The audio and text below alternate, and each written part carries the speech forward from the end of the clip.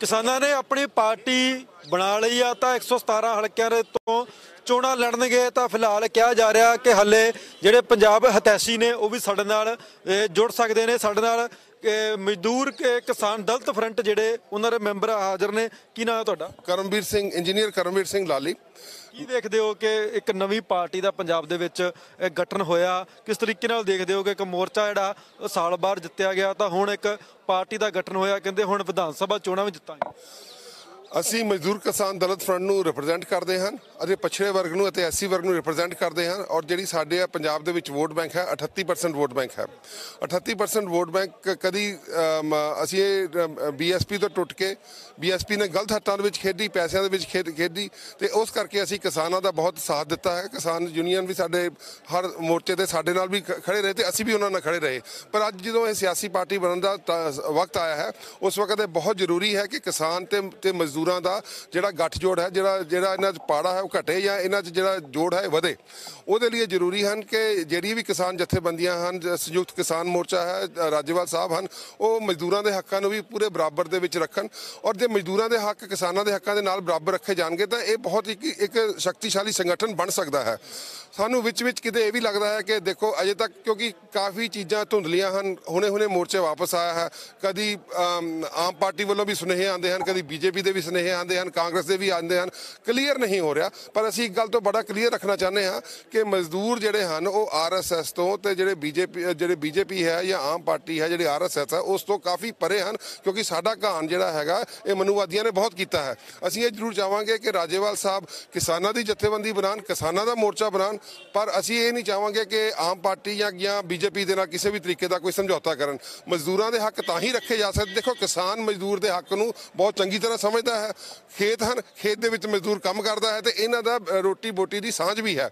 ਪਰ ਜੇ ਤੁਸੀਂ ਇਹ ਕਹੋ ਕਿ ਸਾਡੀ ਜਿਹੜੀ ਆਰਐਸਐਸ ਹੈ ਉਹਨਾਂ ਦੇ ਨਾਲ ਸਾਂਝ ਨਹੀਂ ਹੈ ਪਰ ਉਹਨਾਂ ਨਾਲ ਸਾਡੀ ਕੋਈ ਸਾਂਝ ਨਹੀਂ ਹੈ ਮਨੂਵਾਦੀਆਂ ਨਾਲ ਸਾਂਝ ਨਹੀਂ ਹੈ ਅਸੀਂ ਇਹ ਰਾਜੇਵਾਲ ਸਾਹਿਬ ਤੋਂ ਉਮੀਦ ਕਰਾਂਗੇ ਕਿ ਕਿਸਾਨਾਂ ਦੇ ਹੱਕ ਦੇ ਨਾਲ ਨਾਲ ਉਹ ਮਜ਼ਦੂਰਾਂ ਦੇ ਹੱਕ ਵੀ ਨਾਲ ਰੱਖਣਗੇ ਔਰ ਸਾਡੇ ਹੱਕਾਂ ਨੂੰ ਪ੍ਰਮੋਟ ਵੀ ਕੀਤਾ ਜਾਏਗਾ। ਜਦੋਂ 117 ਸੀਟਾਂ ਦੇ ਬਾਰੇ ਗੱਲਬਾਤ ਹੋਊਗੀ ਜਿਹੜੀ ਅਸੀਂ 38% ਰਿਜ਼ਰਵ ਸੀਟਾਂ ਹੈ ਉਹਦੇ ਬਾਰੇ ਵੀ ਗੱਲ ਕਰਾਂਗੇ ਤੇ ਜਿਹੜੀਆਂ ਸਾਡੀਆਂ ਅ, 38% ਸਾਡਾ ਵੈਸੇ ਵੀ ਇੱਥੇ ਵੋਟ ਬੈਂਕ ਹੈ ਪੰਜਾਬ ਦੇ ਵਿੱਚ ਜਦਕਿ ਜਿਹੜਾ ਅਸੀਂ ਉਹ- ਚਾਹਾਂਗੇ ਉਸੇ ਅਨੁਪਾਤ ਦੇ ਵਿੱਚ ਸਾਨੂੰ ਹਰ ਥਾਂ ਦੇ ਵਿੱਚ ਰੈਕੋਗਨਾਈਜੇਸ਼ਨ ਵੀ ਮਿਲੇ ਔਰ ਸਾਨੂੰ ਸਾਡੇ, ਅਸੀਂ ਪੂਰਾ ਮੋਢੇ ਨਾਲ ਮੋਢਾ ਲਾ ਕੇ ਲਾ- ਚੱਲਣ ਨੂੰ ਤਿਆਰ ਹਾਂ, ਪਰ ਇਹਦੇ ਬਾਰੇ ਗੱਲਬਾਤ ਹੋਣੀ ਤੈਅ ਹੈ ਔਰ ਹੋਣੀ ਚਾਹੀਦੀ ਹੈ ਔਰ ਖੁੱਲੀ ਦਿਲੀ ਨਾਲ ਹੋਣੀ ਚਾਹੀਦੀ ਹੈ। ਲੱਗਦਾ ਕਿ ਜਿਹੜਾ ਭਾਜਪਾ ਨਾਲ ਜਾਂ ਆਮ ਆਦਮੀ ਪਾਰਟੀ ਨਾਲ ਗੱਠਜੋੜ ਹੋ ਸਕਦਾ ਇਹਦੀਆਂ ਵੀ ਤੁਹਾਨੂੰ ਕਨਸੋਆਂ ਹੈਗੀਆਂ ਨੇ? ਦੇਖੋ ਆਈਟੀ ਸੈੱਲ ਬੜੀ ਕੰਪਨੀਆਂ ਦੇ ਬਣੇ ਹੋਏ ਨੇ ਭਾਜਪਾ ਦੇ ਵੀ ਬਣੇ ਹੋਣ ਆਮ ਦੇ ਵੀ ਬਣੇ ਹੋਏ ਹਨ। ਅਜੇ ਤੱਕ ਅਸੀਂ ਜਿਹੜੇ ਜਿਹੜੇ WhatsApp ਦੇ ਮੈਸੇਜ ਆ ਉਹਨਾਂ ਤੇ ਯਕੀਨ ਨਹੀਂ ਕਰਦੇ ਹਾਂ। ਪਰ ਜਿਸ ਤਰ੍ਹਾਂ ਅੱਜ ਕੀਤਾ ਦੱਸਿਆ ਗਿਆ ਕਿ ਸੰਯੁਕਤ ਸਮਾਜ ਮੋਰਚਾ 117 ਸੀਟਾਂ ਤੇ ਲੜੇਗਾ ਇਹ ਬਹੁਤ ਇੱਕ ਸਾਡੇ ਦਿਲ ਨੂੰ ਇਸ ਗੱਲ ਦੀ ਬਹੁਤ ਤਸੱਲੀ ਹੋਈ ਹੈ ਕਿ ਐਟਲੀਸਟ ਜਿਹੜਾ ਸੰਯੁਕਤ ਹਰ ਇੱਕ ਵਰਗ ਨੂੰ ਨਾਲ ਲੈ ਕੇ ਚੱਲਿਆ ਚੱਲਿਆ ਜਾਵੇਗਾ। ਸਾਡੇ ਮਨ 'ਚ ਦੇਸ਼ਾ ਜ਼ਰੂਰ ਸੀਗਾ ਕਿ ਕਿਤੇ ਇਹ ਆਮ ਪਾਰਟੀ ਦਾ ਸਮਝੌਤਾ ਤਾਂ ਨਹੀਂ ਹੋਣ ਲੱਗਾ ਆਰਐਸਐਸ ਦਾ ਸਮਝੌਤਾ ਤਾਂ ਨਹੀਂ ਹੋਣ ਲੱਗਾ ਪਰ ਇੱਥੇ ਆ ਕੇ ਸਾਡੇ ਸ਼ੰਕੇ ਦੂਰ ਹੋ ਗਏ ਹਨ।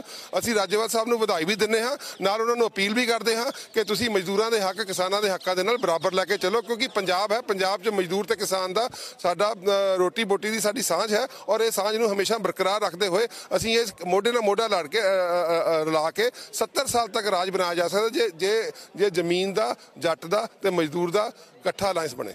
ਲੱਗਦਾ ਕਿ ਹਾਲੇ ਤੱਕ ਉਹ ਪਾੜੇ ਦੂਰ ਨਹੀਂ ਹੋਏ, ਤੁਸੀਂ ਕਹਿ ਗਏ ਉਹ ਪਾੜਾ ਦੂਰ ਕੀਤਾ ਜਾਵੇ। ਲੰਮਾ ਮੋਰਚਾ ਚੱਲਿਆ, ਇੱਕ ਸਾਲ ਮੋਰਚਾ ਚੱਲਿਆ, ਕਿਸਾਨ ਮਜ਼ਦੂਰ ਇੱਕ ਤਰ੍ਹਾਂ ਨਾਰਾ ਦਿੱਤਾ ਗਿਆ। ਤਾਂ ਹਾਲੇ ਵੀ ਤੁਹਾਨੂੰ ਲੱਗਦਾ ਕਿ ਉਹ ਪਾੜੇ ਅਜੇ ਉਹ- ਉਸੇ ਤਰੀਕੇ ਦੇ ਨਾਲ ਹੀ ਆ, ਜਿਸ ਤਰੀਕੇ ਨਾਲ ਪਹਿਲਾਂ ਸੀ? ਦੇਖੋ, ਪਾੜੇ ਤਾਂ ਇਹ ਸਦੀਆਂ ਦੇ ਬਣੇ ਹੋਏ ਨੇ, ਹਜ਼ਾਰਾਂ ਸਾਲ ਦੇ, ਅਜੇ ਵੀ ਕਈ ਜਗ੍ਹਾ ਇੱਥੇ ਹੈ, ਜਿੱਥੇ ਇੱਕ ਦੂਜੇ ਦੇ ਹੱਥ ਦੀ ਰੋਟੀ ਨਹੀਂ ਖਾਧੀ ਜਾਂਦੀ ਹੈ, ਕਿਸੇ ਨੂੰ ਇਕੱਠੇ ਨਾਲ ਬਿਠਾ ਕੇ ਰੋਟੀ ਨਹੀਂ ਖਵਾਈ ਜਾਂਦੀ ਹੈ। ਪਰ ਅਜਿਹੀਆਂ ਘਟਨਾਵਾਂ ਪੰਜਾਬ ਵਿੱਚ ਜੇ ਦੇਖਿਆ ਜਾਏ ਤਾਂ ਬਹੁਤ ਘੱਟ ਹੁੰਦੀਆਂ ਹਨ, ਐਜ਼ ਕੰਪੇਅਰ ਟੂ ਹਰਿਆਣਾ ਤੇ ਉੱਤਰ ਪ੍ਰਦੇਸ਼। ਪਰ ਕੀ ਇਹ ਖਤਮ ਹੋ ਗਿਆ? ਨਹੀਂ। ਇਹਦੇ ਲਈ ਇੱਕ ਸਾਫ਼ ਸੁਥਰੀ ਸੋਚ ਚਾਹੀਦੀ ਹੈ ਔਰ ਪਾੜੇ ਜਿਹੜੇ ਹੈ ਪੋਲੀਟੀਕਲ ਪਾਰਟੀਆਂ ਵੱਲੋਂ ਹੀ ਬਣਾਏ ਜਾਂਦੇ ਹਨ ਵੰਡੀਆਂ ਪਾ ਕੇ ਆਪਣੀਆਂ ਉਹਨਾਂ ਦੀ ਸਰਕਾਰਾਂ ਬਣਦੀਆਂ ਹਨ। ਪਰ ਅੱਜ ਅਸੀਂ ਅੱਜ ਅਸੀਂ ਹੋਪ ਕਰਦੇ ਹਾਂ ਅਸੀਂ ਇਹ ਮੰਨਦੇ ਹਾਂ ਕਿ ਰਾਜੇਵਾਲ ਸਾਹਿਬ ਇੱਕ ਨਵੀਂ ਦਿਸ਼ਾ ਵੱਲ ਪੰਜਾਬ ਨੂੰ ਲੈ ਕੇ ਜਾ ਰਹੇ ਹਨ। ਜੇ ਪਾੜੇ ਹਨ ਤੇ ਘਟ ਸਕਦੇ ਹਨ ਪਰ ਘਟਾਉਣ ਦੀ ਕੋਸ਼ਿਸ਼ ਕੀਤੀ ਜਾਣੀ ਚਾਹੀਦੀ ਹੈ। ਪ੍ਰਧਾਨ ਜੀ ਤੁਹਾਨੂੰ ਇਸ ਬੈਠਕ ਦੇ ਵਿੱਚ ਸ਼ਾਮਲ ਕੀਤਾ ਗਿਆ। ਅੱਜ ਤੁਸੀਂ ਆਪਣੀਆਂ ਵੀ ਮੰਗਾਂ ਲੈ ਕੇ ਆਏ ਸੀ ਮਜ਼ਦੂਰਾਂ ਦੀਆਂ ਮੰਗਾਂ। ਆ ਦੇਖੋ ਜਦੋਂ ਕਿਸਾਨ ਮੋਰਚਾ ਲੱਗਿਆ ਉਹਦੇ ਸਾਡਾ ਸਾਰਾ ਮੋਰਚਾ ਵੀ ਸ਼ਾਮਲ ਸੀ ਅਲੱਗ ਟੈਂਟ ਸੀ। ਔਰ ਅੱਜ ਸਾਨੂੰ ਇਹ ਗੱਲ ਦੀ ਬਹੁਤ ਖੁਸ਼ੀ ਹੋਈ ਹੈ ਕਿ ਸਾਡੇ ਕਿਸਾਨ ਜਥੇਬੰਦੀਆਂ ਜਿਹੜੀਆਂ ਲੰਬਾ ਸਮੇਂ ਤੋਂ ਸੰਘਰਸ਼ ਕਰ ਰਹੀਆਂ ਸੀ 50 ਸਾਲ ਤੋਂ ਵੱਧ ਸਮੇਂ ਤੋਂ, ਅੱਜ ਉਹਨਾਂ ਨੇ ਜਿਹੜਾ ਕਦੇ ਸਾਹਿਬ ਕਾਂਸ਼ੀ ਰਾਮ ਨੇ ਨਾਰਾ ਦਿੱਤਾ ਸੀ ਸਮਾਜ ਦਾ, ਉਹਨਾਂ ਨੇ ਉਹ ਸ਼ਬਦ ਵਿੱਚ ਯੂਜ਼ ਕੀਤਾ, ਬੜੀ ਖੁਸ਼ੀ ਦੀ ਗੱਲ ਹੈ, ਸੰਯੁਕਤ ਸਮਾਜ ਮੋਰਚਾ। ਇਹਦੇ ਲਈ ਸਾਨੂੰ ਅੱਜ ਪੂਰੀ ਉਮੀਦ ਬਣ ਗਈ ਹੈ ਕਿ ਸਾਨੂੰ ਕਿਸੇ ਦਿੱਲੀ ਵਾਲੇ ਦੇ ਹੱਥਾਂ 'ਚ ਖੇਲਣ ਦੀ ਲੋੜ ਨਹੀਂ ਹੈ, ਸਾਡਾ ਮਜ਼ਦੂਰ ਤੇ ਕਿਸਾਨ ਦਾ ਆਪਸੀ ਪੈਚਅਪ ਹੋ ਕੇ 117 ਸੀਟਾਂ ਲੜ ਕੇ ਔਰ ਸਰਕਾਰ ਬਣਾਵਾਂਗੇ। ਧੰਨਵਾਦ। ਇਸ ਤਰੀਕੇ ਨਾਲ ਰਾਜਵਲ ਸਾਹਿਬ ਨੇ ਕਿਹਾ ਸੀ ਕਿ ਗੱਠਜੋੜ ਹੋ ਵੀ ਸਕਦਾ ਤੇ ਜੇਕਰ ਗੱਠਜੋੜ ਹੁੰਦਾ ਫਿਰ ਕੀ ਹੋਵੇਗਾ? ਨਹੀਂ ਦੇਖੋ ਇਦਾਂ ਮੇਰੇ ਖਿਆਲ 'ਚ ਅੱਜ ਜਿਹੜੇ ਵਪਾਰੀ ਨੇ ਛੋਟਾ ਵਪਾਰੀ ਆ ਉਹ ਬਹੁਤ ਪਰੇਸ਼ਾਨ ਹੈ। ਉਹ ਨਾ ਬੀਜੇਪੀ ਨੂੰ ਨਾ ਕਾਂਗਰਸ ਨੂੰ ਵੋਟ ਨਹੀਂ ਪਾਏਗਾ। ਇਸ ਕਰਕੇ ਸਾਨੂੰ ਗੱਠਜੋੜ ਦੀ ਲੋੜ ਹੀ ਨਹੀਂ ਰਹਿਣੀ।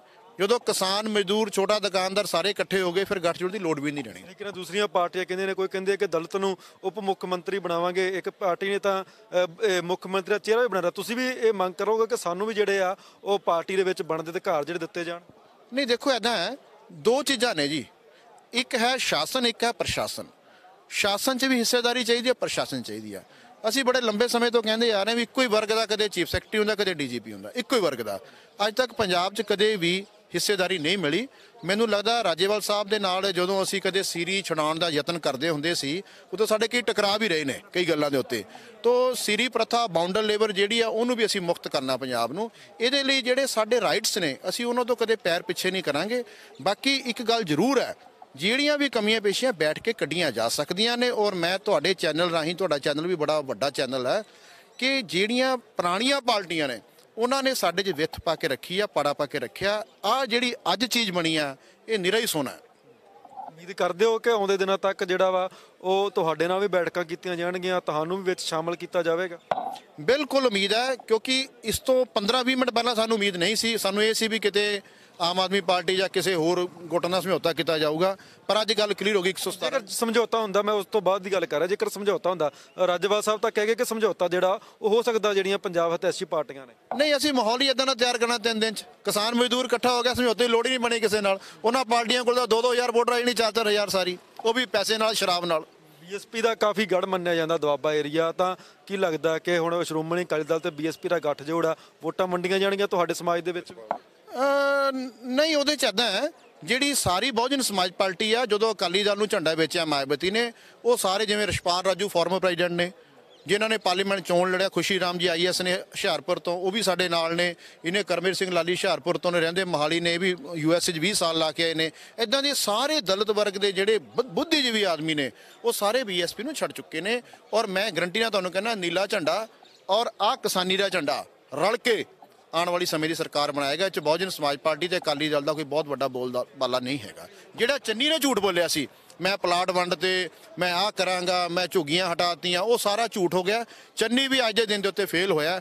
ਜਿਸ ਢੰਗ ਨਾਲ ਸੁਖਵੀਰ ਫੇਲ ਹੈ, ਉਸੇ ਢੰਗ ਨਾਲ ਚੰਨੀ ਫੇਲ ਹੈ। ਔਰ ਮੈਂ ਤੁਹਾਡੇ ਚੈਨਲ ਤੋਂ ਕਹਿਣਾ ਚਾਹਨਾ ਸਾਡੀ ਲੜਾਈ ਨਾਗਪੁਰ ਨਾਲ ਹੈ। ਨਾਗਪੁਰ ਨੂੰ ਅਸੀਂ ਪੰਜਾਬ 'ਚ ਕਾਮਯਾਬ ਨਹੀਂ ਹੋਣ ਦੇਣਾ। ਉਹਦੇ ਲਈ ਅੱਜ ਇੰਨਾ ਮਨ, ਹਿਰਦਾ ਖੁਸ਼ੀ ਆ ਕਿ ਕਹਿਣ ਦੀ ਹੱਦ ਨਹੀਂ ਸਮਾਜ ਸ਼ਬਦ ਯੂਜ਼ ਕਰਕੇ, ਸੰਯੁਕਤ ਸ਼ਬਦ ਯੂਜ਼ ਕਰਕੇ, ਇੱਕ ਵੱਡਾ ਮੋਰਚਾ ਬਣਾ ਕੇ, ਕਿਸਾਨ ਮਜ਼ਦੂਰ ਦਾ ਇੱਕਾ ਕਰਕੇ, ਜਿਹੜੇ ਨਾਗਪੁਰ ਵਾਲੇ ਸਾਡੇ ਪੰਜਾਬ 'ਚ ਰਾਜ ਕਰਨਾ ਚਾਹੁੰਦੇ ਆ, ਸਾਡੇ ਬੰਦਿਆਂ ਨੂੰ ਈਡੀ ਦਾ ਡਰ ਦੇ ਕੇ, ਉਹਨਾਂ ਦੇ ਮੂੰਹ ਤੇ ਅੱਜ ਵੱਡੀ ਚਪੇੜ ਵੱਜੀ ਆ। ਔਰ ਮੈਂ ਅੱਜ ਦੇ ਦਿਨ ਦੇ ਉੱਤੇ ਤੁਹਾਡੇ ਚੈਨਲ ਦੇ ਮਾਧਿਅਮ ਤੋਂ ਕਿਸਾਨ ਮੋਰਚੇ ਨੂੰ ਇਸ ਗੱਲ ਦੀ ਵਧਾਈ ਦਿੰਦਾ, ਤੁਹਾਡੀ ਸਿਆਣਪ, ਤੁਹਾਡੀ ਪੇਸ਼ੈਂਸ ਤੁਹਾਡੀ ਕੁਆਲਿਟੀ ਬਹੁਤ ਵੱਡੀ ਆ। ਧੰਨਵਾਦ।